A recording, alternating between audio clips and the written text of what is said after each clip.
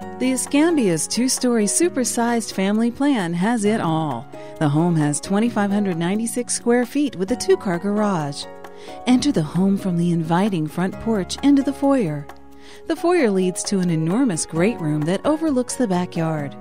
The great room is large enough for a formal dining and media area. Relax after a long day in the covered porch.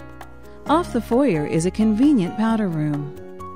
The kitchen opens to the great room and showcases a breakfast bar, two pantries, and a front breakfast room big enough for a large table overlooking the front porch. Off the great room is the master suite.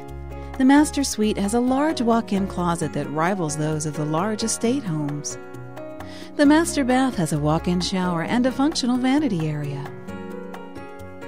Off the great room is the laundry room. Upstairs features an open loft with a sitting area which can easily be converted to a fourth bedroom. There are also two guest bedrooms. You will be amazed at the size of the rear guest bedroom, which can easily accommodate two kids and their toys.